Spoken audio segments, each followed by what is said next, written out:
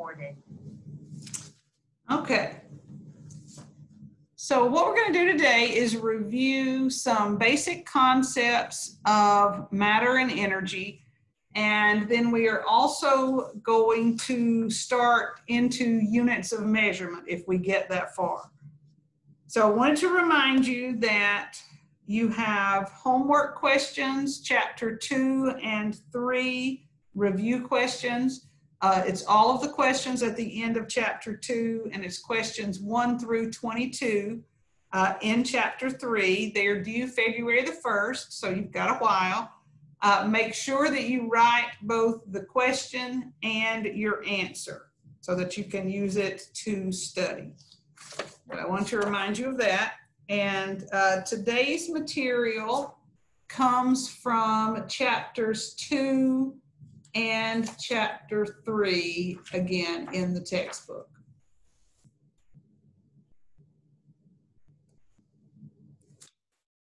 All right, so when we think about our environment,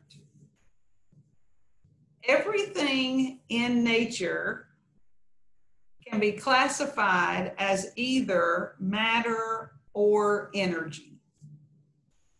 And both of these are what we would call conserved quantities. And we'll, and we'll talk more about that uh, a little bit later.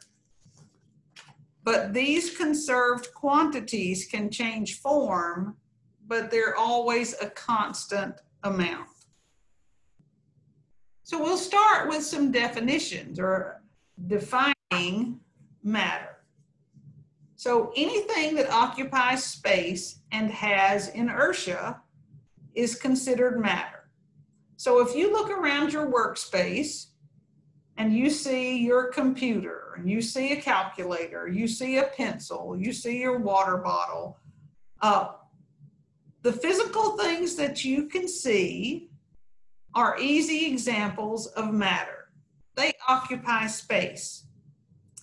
Now, what does it mean to have inertia?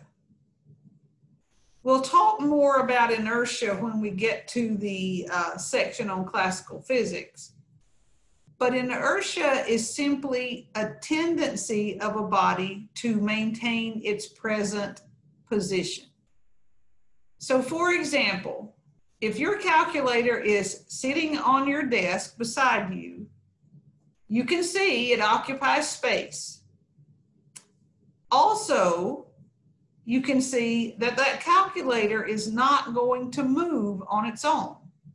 It's not going to suddenly fly through the air. It's not going to jump off your desk and move. So matter is any object that occupies space and has inertia, meaning that its present state is not going to change unless it's acted upon by an outside force. So for example, if you reach over and you pick up your calculator, you've moved it.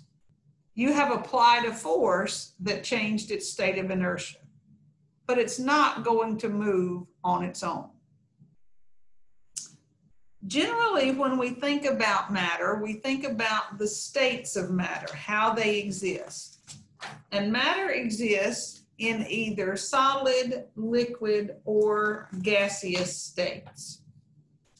So for example, it's always good to use water as an example because water in its typical form is liquid. If we freeze water, it becomes a solid. If we heat water, it becomes a gas. So if we compare these different states of matter, we can say that solids have a definite shape and a definite volume. So for example, again, look at your calculator. It has a definite shape, a definite volume. It's not going to change. Liquids have an indefinite shape, but a definite volume, and they will conform to the container. So if you have a cup of water, you could pour it into different types of containers and it would have an indefinite shape. It would change with each container, but the volume would still be the same. And then gases have both indefinite shape and indefinite volume. Because again, they will uh, conform both shape and volume to a container. So these are the different states of matter. But again, by definition, matter is anything that has inertia and anything that occupies space. We've already alluded to this, but matter can change its state. And typically, temperature is what alters the state of matter. So, again, using water as our example. If water is frozen and we heat it, it converts from a solid to a liquid or it melts. If we have water in a liquid state and we freeze it, it converts from a liquid to a solid. If we have condensation. Water is converting from a gaseous state to a liquid state. If we have evaporation, we're heating water and it converts from a liquid to a gas. Each type of matter would go through these various states at different temperatures. I use water because an example because it's common. It's a very common material. Uh, so at what point does water go from a liquid to a solid? What's its freezing point? What's the freezing? 32 degrees. 32? 32. 32 degrees. That's what we all pray for when we think it's going to rain because if it's 32 degrees, hopefully we get snow. We might get freezing rain though, which we don't like. So, at what temperature does water boil? 120? 212. 212?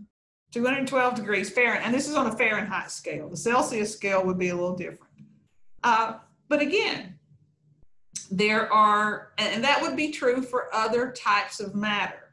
It would change states at variable temperatures specific to that particular type of matter. But again, matter exists as either a solid, a liquid, or a gas. And matter can change from one state to the other depending on temperature.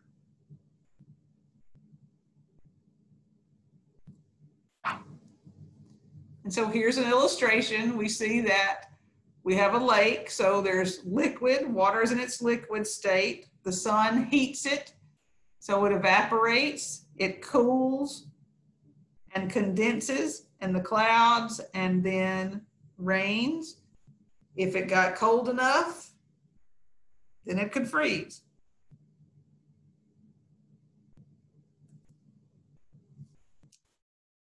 So since temperature or heating can, can, can change states of matter, it's important to look at heat. And when we think of heat, I mean, we all know what heat is. You know, something's hot, it's warm.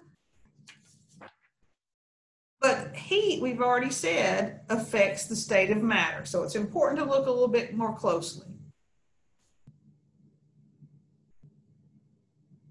So heat involves the flow of energy from one object or one atom or one molecule to another. And it has both kinetic energy and potential energy components. And we'll talk more about kinetic and potential energy uh, a little bit later. But when we think about the temperature of an object, the temperature of an object is basically a measure of the kinetic energy of an object's molecules.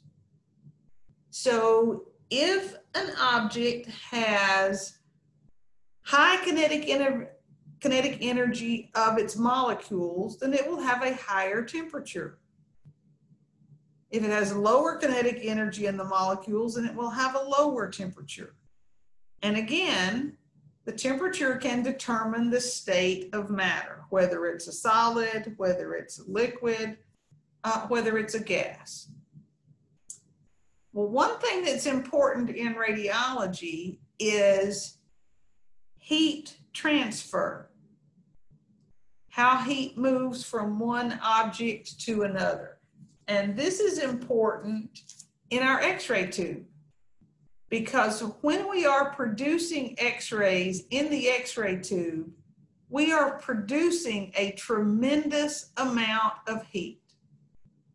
And we need to remove that heat from the area of the anode so the anode doesn't melt.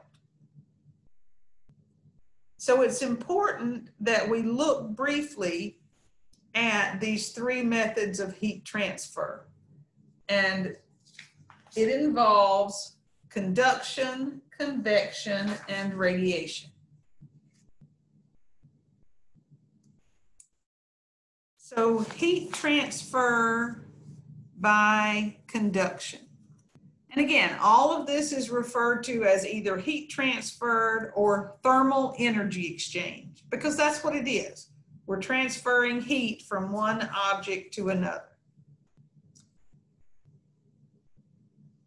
Now remember, temperature is a measure of kinetic energy at the molecular level. So keep that in the back of your mind as we talk about each of these uh, different methods of heat transfer. And the first is conduction. Conduction is the transfer of heat by direct contact or one object is touching another.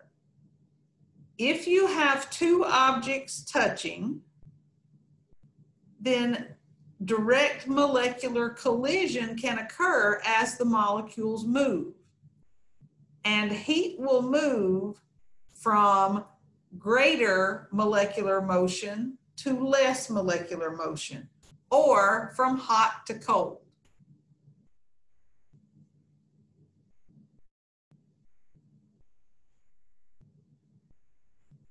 If you think about cooking, and I don't know about y'all, but I'm not the world's best cook. As a matter of fact, I'm barely adequate, I guess, as a cook.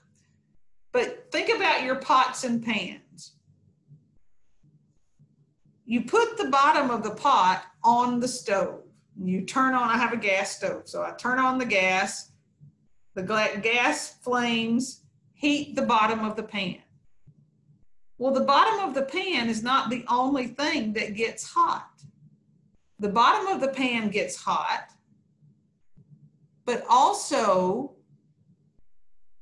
the heat moves throughout the molecules all over the pan, even to the handle. So if you have a pot with a metal handle and you're not careful and you grab hold of it without thinking, you'll get burned because even though the heat is only on the bottom of the pan, the heat source, heat spreads throughout by direct molecular uh, collision. If you take a hot pan off the stove and you set it onto a surface, that surface will become hot because of that direct molecular collision. So again, heat transfer by conduction basically is when molecules are in contact, two things touch each other. Now, a second method of heat loss is by convection. And convection involves a mixing of fluids, and fluids are either liquids or gases. So, in convection, hot fluids, say the hot fluids, if you think about a pan, the hot fluids are at the bottom uh, are at the bottom of the pan because they're closest to the heat source. So those hot fluids will rise, carrying that thermal energy with them. They'll push the cold fluids down toward the heat source. The same thing is occurs with gases or with air. If you have a space heater, the air around the space heater heats up and rises, pushing the cold air down. So it's like a flow of fluids. Again, hot rises, cold falls. Then we have heat transfer by radiation. And radiation involves a flow of electromagnetic energy. So as you are cooking, so you see this is a campfire and you see radiation show, showing, uh, emerging from the fire. That is infrared or thermal radiation. It's produced by the heating. In the X-ray tube, our interactions that produce radiation produce infrared radiation. Our anode spins and casts it off as it spins. So a flow of electromagnetic radiation, either in the form of infrared or radiation or X radiation, is one way of heat transfer. When we think about our X-ray tube, a simple stationary anode X-ray tube transfers heat by conduction or direct contact. Our Crookes, no, our Coolidge tube, excuse me, that we use that has a spinning anode primarily loses heat by radiation. It's casting it off as it's spinning. So heat transfer or thermal energy exchange, this is important to us because it affects our x-ray tube because of the great amount of heat that we produce in the x-ray tube.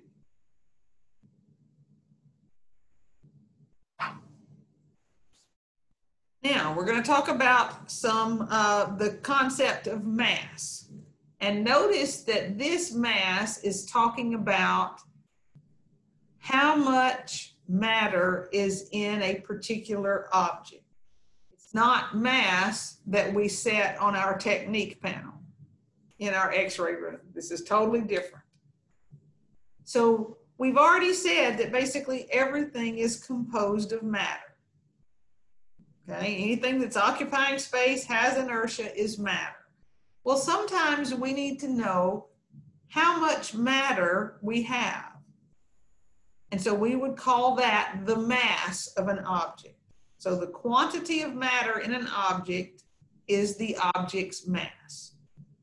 And when we measure it, we measure it in grams, kilograms, those types of units.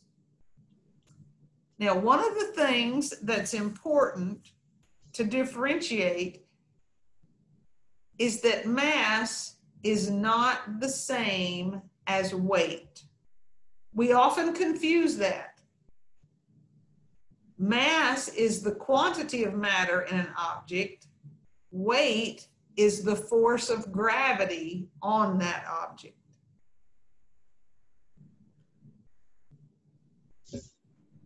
So for example, the mass of an object never changes. Say I had a bar of metal and my bar of metal had a mass of 10 kilograms. on the Earth, its mass is 10 kilograms. If I put my 10 kilogram metal object in a spaceship and I send it to outer space, its mass is still 10 kilograms. If my spaceship lands on the moon and my metal object is moved to the surface of the moon, its mass is still 10 kilograms. The mass of an object is always constant. Weight, however, depends on the force of gravity.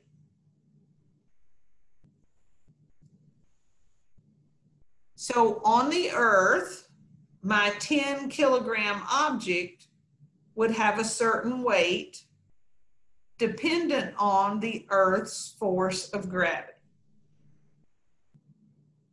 So we'll talk about that actually when we get to the classical physics unit. So weight on the earth depends on the earth's force of gravity. My 10 kilogram object in a spaceship in outer space where there is no gravity has no weight. So its weight's zero in outer space because there's no force of gravity. When my spaceship lands on the moon and my 10 kilogram object is taken off of the ship onto the moon, it would have a certain weight dependent on the force of gravity on the moon. Just in general, the force of gravity on the moon is six times less than the Earth's force of gravity. So the mass of my object is the same wherever I am, on the Earth, in my spaceship, on the moon. The weight of my object is six times greater on the Earth than it is on the moon and in outer space, my object has no weight. So again, that's the difference the mass and weight. Right. Mass is always constant, weight is variable due to the force. And weight is a force. So does that make sense? Make sense? I hope so.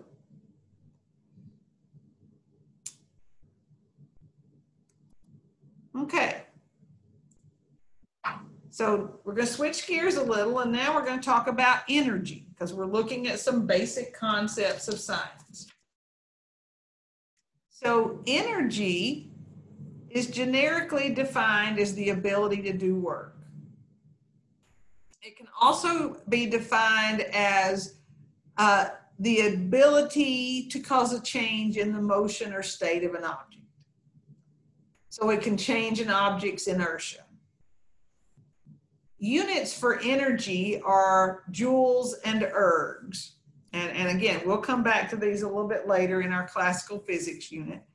Uh, but also in radiology, because our X-ray photons have such a small amount of energy, uh, we can also measure energy in the unit of electron volts. So joules, ergs are typical energy units. For x-rays, we actually can measure energy in units of electron volts. There are lots of different kinds of energy. We have potential energy, we have kinetic energy. Potential energy is the ability to do work by virtue of position. So if we think about a bow and arrow where the bow is pulled back, ready to release, the bow has potential energy. If we think about uh, a rock on the very edge of a cliff about to fall off the edge, that rock has potential energy. Uh, if we think about uh, a rubber band pulled back, about to let go. It has potential energy. So, potential energy, when you think of that, think of position, energy by virtue of position. Then we have kinetic energy. And kinetic energy is the energy of motion. So anything that's moving has kinetic energy. For example, the skier skiing downhill has kinetic energy. Um, a person riding their bicycle through the neighborhood has kinetic energy. A um, an electron moving across our X-ray tube from cathode to anode has kinetic energy. Uh, anything moving has kinetic energy because it's the energy of motion. So could you say potential energy is stored energy? It is stored energy. So yeah, and, and energy by virtue of position. So yes. All right, two other types of energy we're going to talk about uh, generally. The first is chemical energy. And chemical energy is the energy that's released in chemical reactions. So we have in our body all sorts of chemical reactions occurring all the time that help us to produce the energy which is required of our bodies to work. A very common example of chemical energy that we all use all of the time are batteries. Batteries convert chemical energy to electrical energy. And so they are producing energy by virtue of the chemical reactions within the battery. So that's just a very common example of chemical energy. Electrical energy is something that we'll be dealing with throughout this semester because one of the main things we're doing this semester is getting the background information necessary to understand our X-ray circuit and ultimately our X-ray tube, which is an electrical device. So electrical energy is just commonly called electricity if we look closely at what's happening or what's producing electrical energy, it's the movement of an electron through a, an electric potential. And an electric potential simply is voltage. So if we apply a voltage to a conducting wire, it can cause electrons to flow, and that is electrical energy.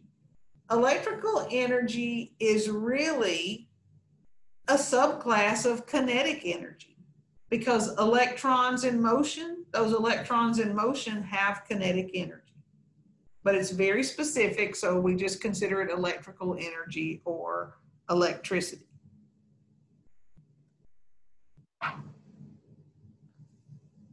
Thermal energy. Now, we've already talked a little bit about thermal energy. So when you think of thermal energy, we think of heat. Thermal energy, we've already said, is actually measuring the energy of motion at the molecular level. So it's kinetic energy at the molecular level, which makes thermal energy also a subclass of kinetic energy because we're looking specifically at atomic and molecular motion. So then we have nuclear energy. And nuclear energy, by definition, is the energy contained in the nucleus of an atom. And the nucleus of an atom is a very minute structure but there is a lot of energy contained within that nucleus if you can free it from the nucleus itself. So when we think about nuclear energy, there's lots of different things that may come to mind. You may think of uh, atomic structure. You may think of Einstein's theory of relativity. You may think of nuclear reactors. Uh, you may think of all the different elements on the periodic table. You may think of atomic fusion. You may think of fission. All of these concepts uh, can be thought of generally under the heading of nuclear energy because they are all interconnected. But for us, we're not going to really be dealing with nuclear energy this semester. So just know in general, this is the energy that's contained within the nucleus of an atom. Now, the energy that we are going to be dealing with for this semester and all semesters with physics uh, is electromagnetic energy. And we are primarily concerned with electromagnetic energy because that's what X-rays are. X-rays are electromagnetic. And there are many other types of electromagnetic energy. We've mentioned the electromagnetic spectrum, where you have uh, gamma, uh, X and gamma, you have all the different light waves, ultraviolet, visible, infrared. You have uh, microwaves, you have radio waves. All of those are electromagnetic radiations. They all consist of two different fields, an electric field and a magnetic field that are perpendicular to each other, but they move through space together. And remember, the general term of uh, the general definition of radiation is moving energy from one point to another. So electromagnetic energy can also be referred to as electromagnetic radiation.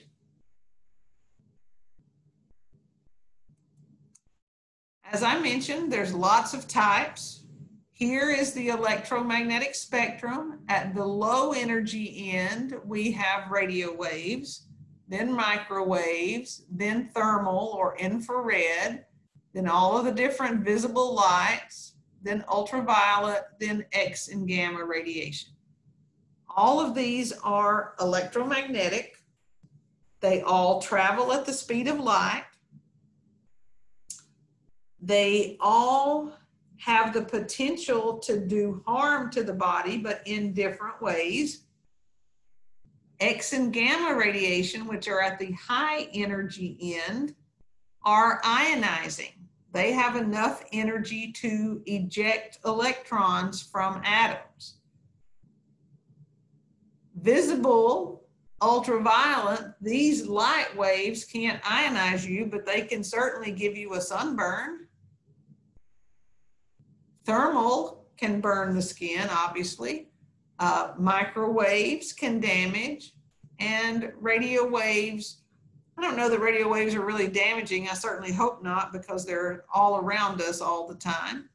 Uh, but they have some similar characteristics, but then obviously some different characteristics. But all of these are electromagnetic. They all consist of the electric field and the magnetic field perpendicular to each other, moving through space together.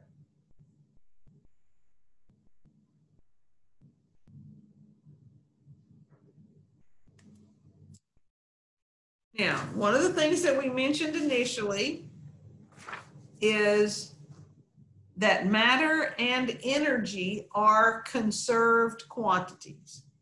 And what that means is that you can't create or destroy it, but you can change its form.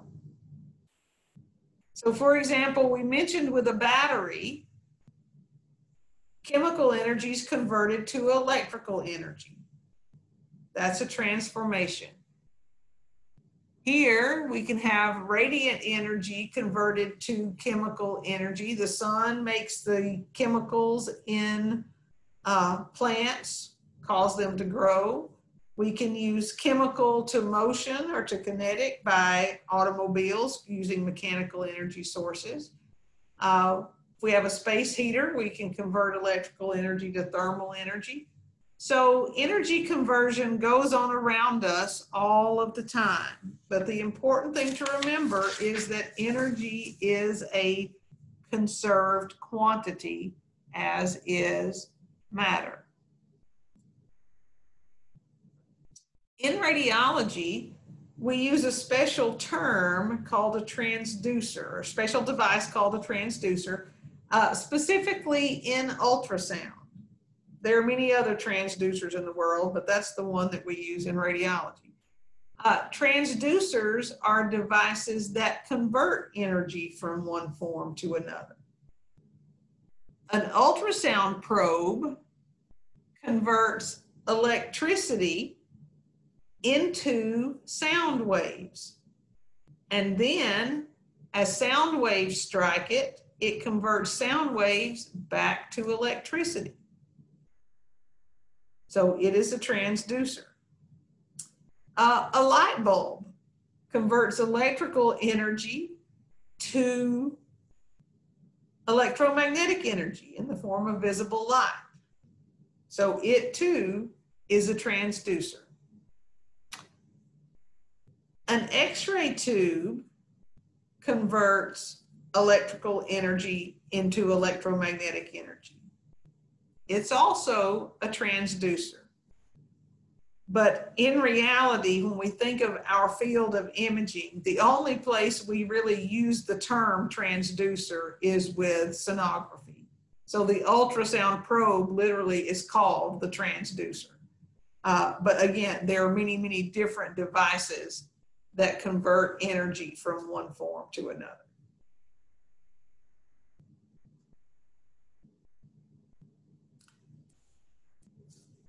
So we said that energy was a conserved term or conserved concept, so is matter.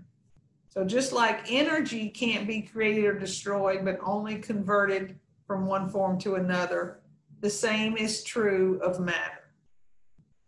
And so again, if we think about the, the example that we used earlier with water, you know, if we heat it, it becomes a gas. If we cool it, it can become ice. We can change its form, but we really don't change the amount of matter that we have.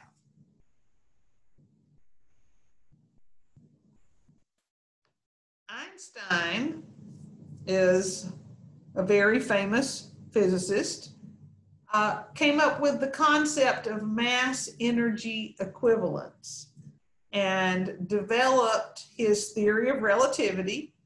And part of that theory of relativity is this mass energy equivalent statement or equation. And he says the energy is equal to the mass of an object times the speed of light squared.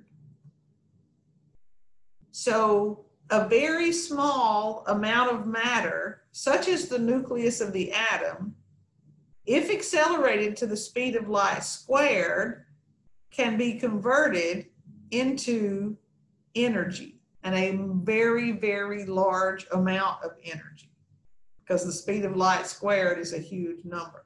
So a very small amount of matter, if converted to energy, would create a very large amount of energy.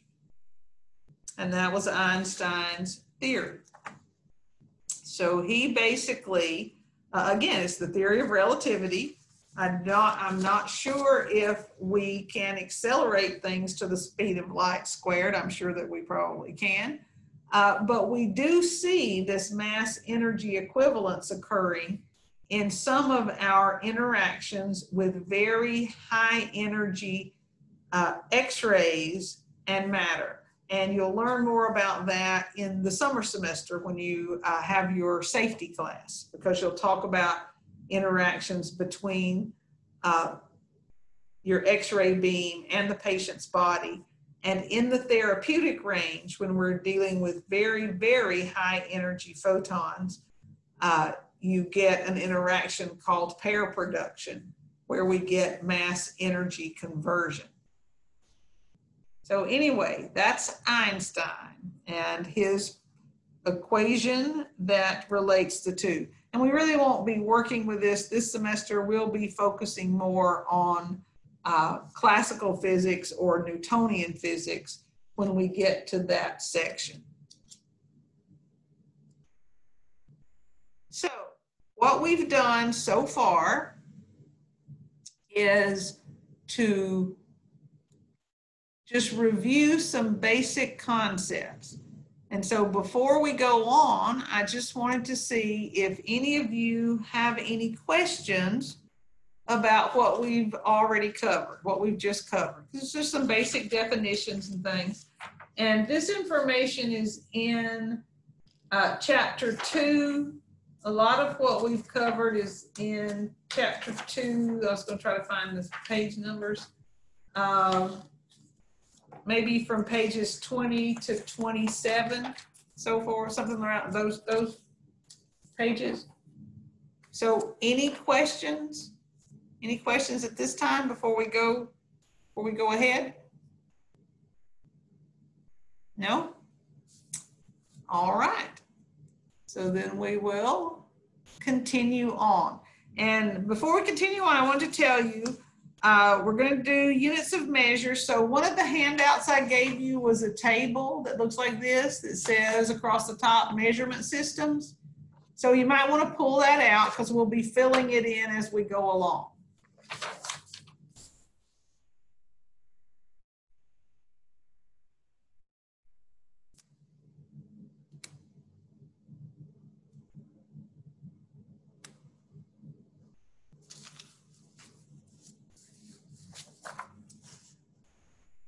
Okay.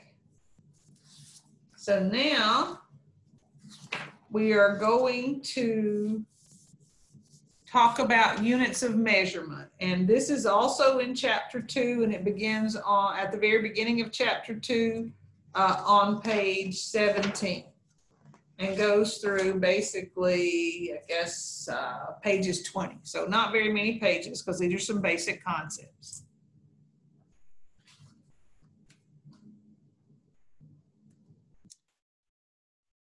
So when we are working problems, when we are doing experiments, we have to be able to quantify different measures. And in order to do that so that we can compare with the work of other scientists, we have to have standardization.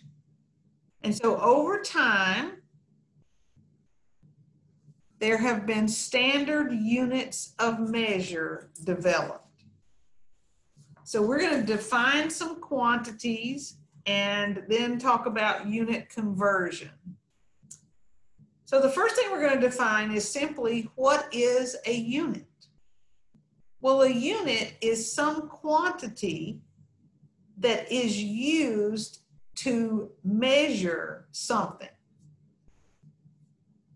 So for example, if I want to measure distance, there are a lot of different units that I can use to measure distance. I can measure distance in inches, in feet, in miles, in kilometers, in meters, in centimeters. I can measure distance in angstroms. So most of you have probably heard of all of those units except possibly angstroms. But all of those are standard units of length or distance. So a unit is just a quantity that's adopted as a standard of measurement. And we'll talk about different kinds of units as we go forward. Now, there are different measurement systems across the world. And if you have your chart, you'll see measurement systems across the top, and you see four different measurement systems. There's the British, the Systems International, uh, the MKS, and the CJ, uh, CGS measurement systems. So every measurement system has something that are referred to as the standard units. And the standard units are the basic units in any system of measurement. Uh, they can also be called fundamental units or base units. And basically, these are the building blocks for all of the other units in that system of measurement. And like I said, we're going to look at four different systems of measurement. So a standard unit is one of the basic units of the system. Then you have derived units. Well, the derived units are the units that are built from those basic units. They are more complex and they are derived by combining those base units in a variety of ways. Now that may not make sense now, will make more sense when we start looking at some examples. And we'll get to that in just a few minutes. So like I said, there are four different systems of measurements. The first is the Systems International, which is the International System of Units. Then we have the MKS system, which MKS stands for meters, kilograms, and seconds. And these are the base units of that system. Then we have CGS, which is centimeters, grams, and seconds. And those are the base units for that system of measurements. And last, we have the British system. In the British system, the foot, the pound, and seconds are the base units for that system. In the international system of units or the SI units, and in the MKS and the CGS, CGS system, all of these are metric systems. Okay? Most of the world is using metric systems and has for a long period of time. The United States was supposed to convert to the metric system in the mid 1980s and just never did. So in the United States, you will see measuring, you will see some things measured in the British system, and then you will see other things measured in one of the metric systems. As long as you can differentiate what they are. But the Systems International and the MKS systems have the same three basic units. So in the Systems International, their basic units are also meters, kilogram, and seconds. So if we have basic units, we also have to have basic quantities or the standard quantities. And the standard quantities are length, mass, and time. So length is pretty easy to understand, you know. It's a measure of distance. How far? Mass, we've already defined. Mass is the quantity of matter in an object. And then time is the period in which some action occurs or some condition exists. So for us, if we said we took an x-ray exposure that lasted 0.1 seconds, you know, our exposure existed for 0.1 seconds, so that's the time. So the standard quantities are length, mass, and time. Each system of units has a specific unit associated with each standard quantity. So if we think about the, the systems, if we look at our, our paper, we see the first is the British system. Well, the standard unit of length in the British system is the foot. The standard unit of mass is the pound, and the standard unit of time is the second. If we look at the MKS and SI systems, the standard unit of length is the meter, the unit of mass is the kilogram, and the unit of time is the second. In the CGS system, the unit of length is the centimeter, the unit of mass is the gram, and the unit of time is the second.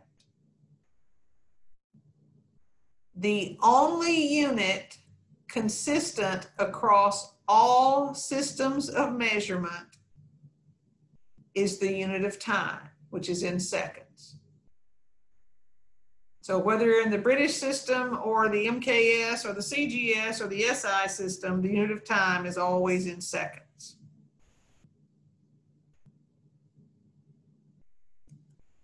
So if we look at systems of units, on the bottom, the foundation of every system are the base quantities and the base units. So our three base quantities are length, mass, and time, and their associated units in the MKS system, which is the one that we'll work in most often, is meters, kilograms, and seconds. So those base quantities have associated base units. Derived units these are more complicated concepts and their units come from these base quantities and units. They're derived and we'll do some work on that in just a moment so it'll make more sense. But some examples of derived units, we've already talked about energy, but there's power, work, momentum, force, velocity, acceleration. And we'll look at all of those concepts uh, when we get to the unit on classical physics. And so as we go along, we'll be building uh, our systems of units. And then within each system of units, there are also some special quantities. And the units of radiation are considered special quantities and special units. So as you go through the program, we'll talk about exposure, dose, dose equivalent, uh, activity of radioactive substances. All of those would fall into a special quantities uh, category. And we're not going to worry about them uh, in this class. You'll talk about those in uh, radiation safety and in radiation biology and also in QC. Uh, but anyway, we're going to focus on the base units and the derived units. And like I said, in the MKS system and in the Systems International uh, system, these are the three fundamental quantities or base quantities and their associated unit. It's important to know what your base quantities are, as well as the derived quantities, because they are different in different systems. But when you're working problems, you have to work in the same system of units. So you couldn't express a distance or a length in meters and a mass in pounds and a time in hours and be able to work that problem. You have to convert to the same system of units. Okay? So it's really important. That's why we, we have the chart to sort of keep you in line. So the next question is, okay, so we have all these different systems of measurements. We have these standard uh, quantities and these standard units. Uh, who comes up with these things? Well, in reality, there is an International Bureau of Weights and Measures, and it's in France, and they are the group that sets the standards. And they are very serious. I said, I said, these people need to get a life. I can't imagine anything more boring than this, but obviously uh, it has to be done. So to give you some examples, in the MKS system, the standard unit of length is the meter. And a meter initially was defined as the distance between two engraved lines on this platinum iridium bar. So it was an arbitrary assignment. Here's this bar, there's a mark here, there's a mark here. That distance between the two, that's a meter. That was the original definition. Well, it has been refined over time to be more and more precise. In 1960, they changed it from the distance between those two marks to 1.65 times 10 to the 6 wavelengths of orange light emitted from Krypton 86. Now that's very specific. How they came up with that, I don't know. But then it's been refined even again. So the current definition of a meter is the distance traveled by light in one 299,792,468 of a second. So obviously a very specific definition. Uh, if somebody asked me how far was a meter, well, I just hold my arms apart about this far, you know. But again, very technical, very specific definitions by the Standards Bureau. The same thing with the kilogram. The kilogram is the standard unit of mass in the MKS and the uh, SI systems of measurement. The kilogram is defined, was defined as the mass of a thousand cubic centimeters of water at four degrees Celsius. I'm not sure why four degrees. Why not zero? It's frozen at zero. But anyway, this was the standard. Then they developed an international prototype kilogram that is this platinum iridium cylinder. So again, very specific standards that are set by the International Bureau of Weights and Measures. The standard unit for time is the second. So this definition of the second has also changed. And this is the standard unit across all systems, okay? Because the second is the unit of time, whether it's British system, SI system, MKS, or CGS system. And initially, the second was defined as one 86,400th of a mean solar day. And they got that by saying, okay, every day has 24 hours, every hour has 60 minutes, every minute has 60 seconds. And if you multiply all that out and divide it into one, it's 186,400. Now, they have even more precisely measured a second by basing it on the vibrations of cesium atoms in an atomic clock.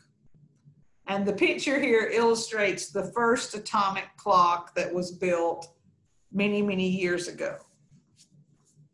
So we laugh, or I laugh, because I think, you know, I don't know that I care that much about how precise the units are, but obviously somebody does. So the International Bureau of Weights and Measures refines these standard units and over time they have changed. They have been more precisely defined. And, and you don't need to, to memorize any of these. This was just to give you an idea of, of the uh, importance of this to the scientific community. What you need to know, basically, there are four different systems of units. Each of those systems of units has three fundamental quantities, length, mass, and time.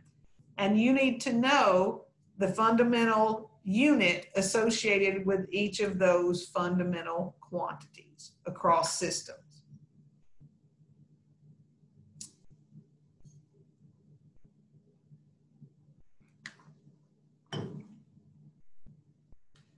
So since we've talked about the fundamental quantities, now we're going to look at some derived quantities and their associated units. And we're going to start with some of the basic ones, uh, area, volume, density and velocity.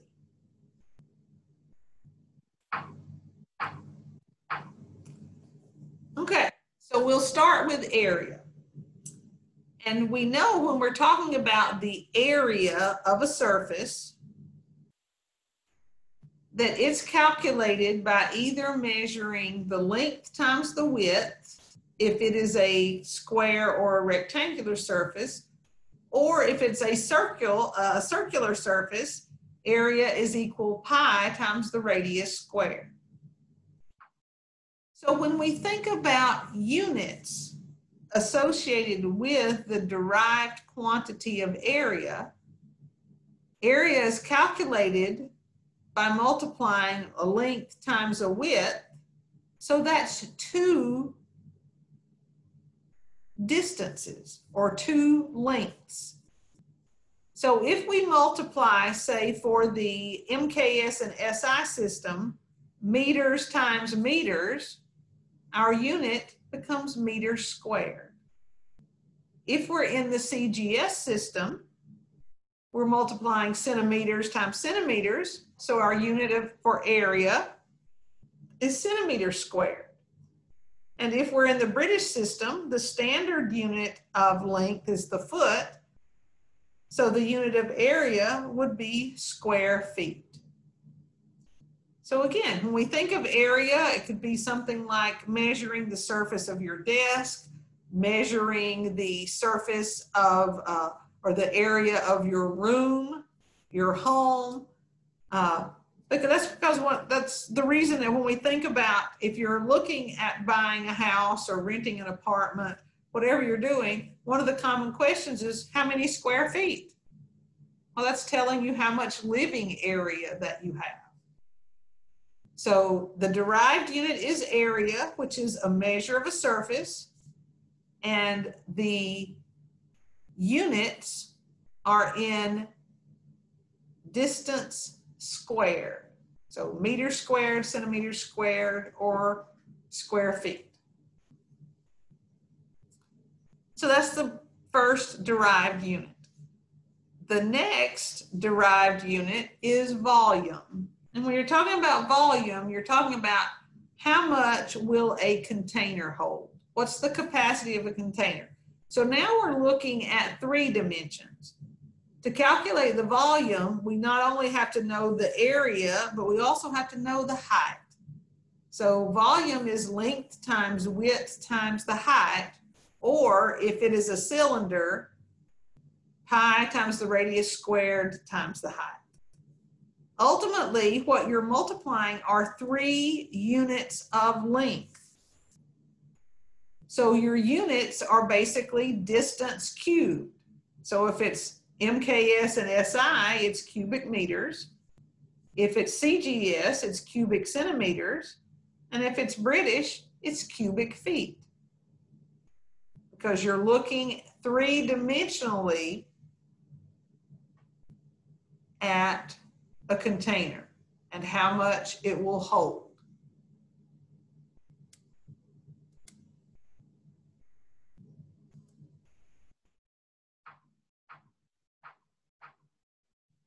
Okay, so the next derived unit is density. And here we're talking about the density of an object. Uh, for example, if you think about uh, air. Air has a low density. Gases typically have low densities, uh, but you would think of the density of, say, lead as having a high density. By definition, density is the mass per unit volume. So how much matter have we crammed into a certain container, into a certain volume? The formula for density is mass divided by the volume. So the units would be units of mass divided by units of volume. So if we are in the MKS or the SI system, our unit of mass is the kilogram and our unit of volume is cubic meters.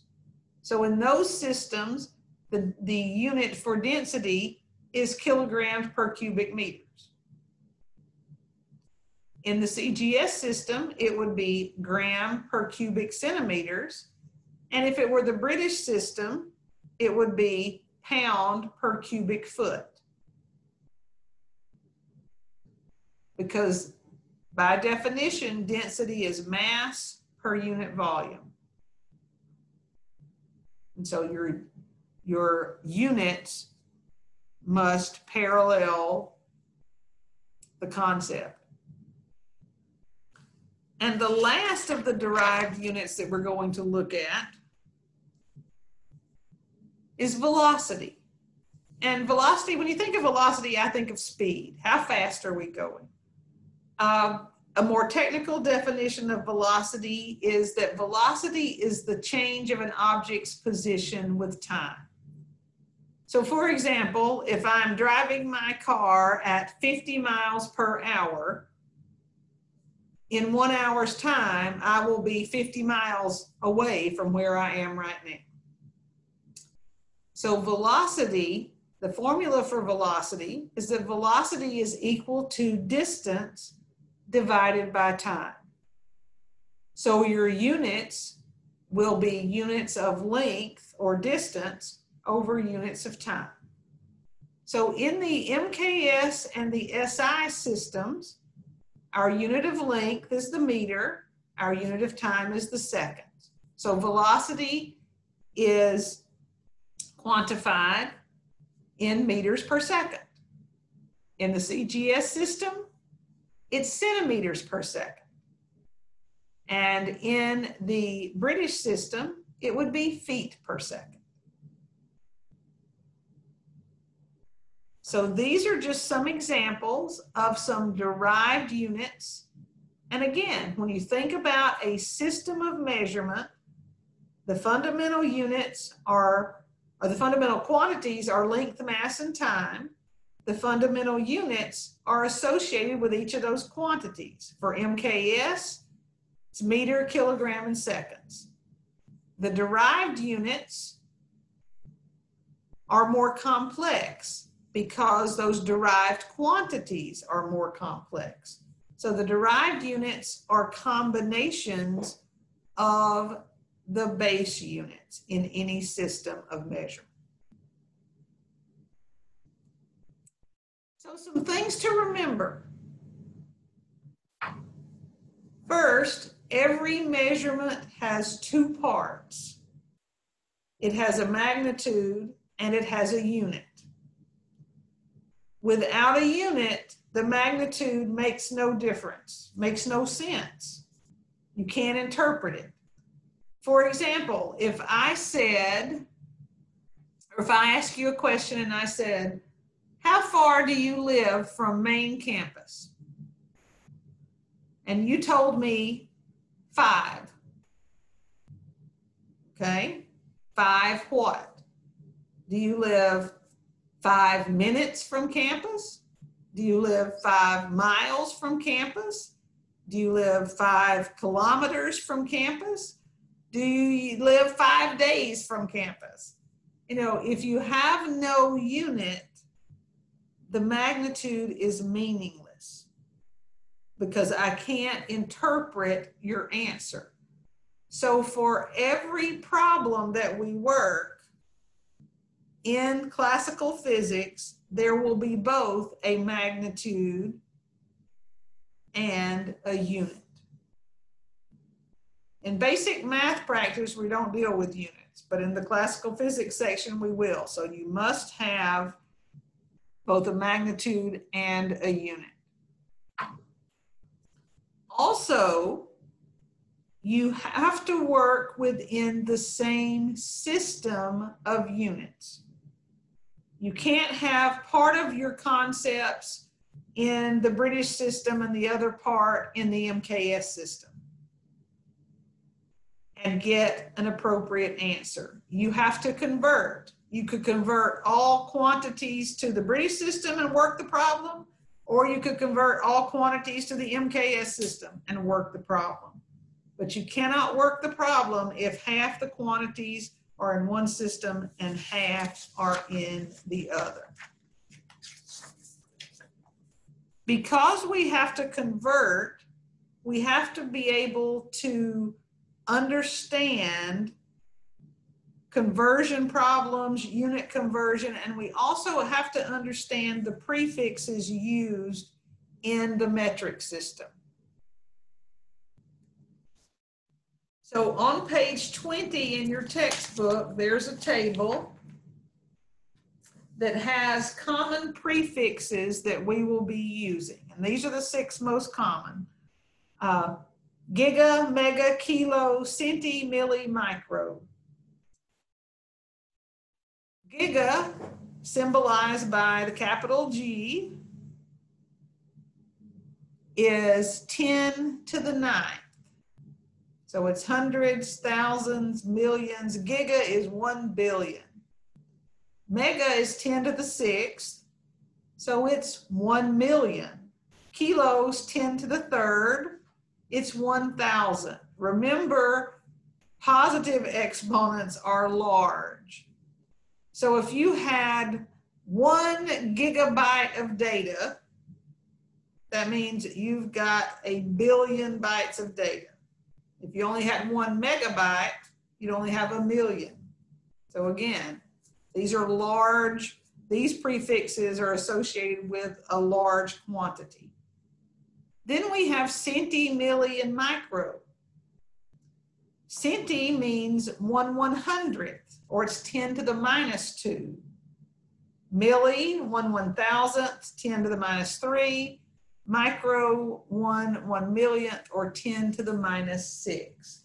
So we will be working problems using these prefixes, prefixes and unit conversions. So the first thing you need to do, if you haven't already in the past, I'm sure that many of you have, is you have to memorize these prefixes because you have to know them.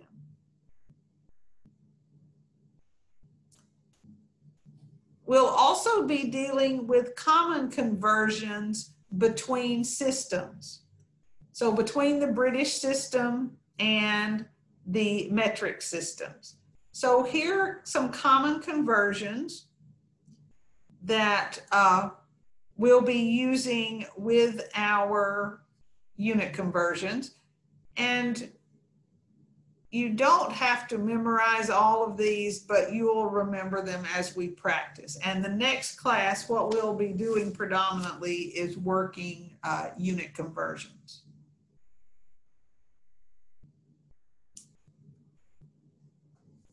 So any questions?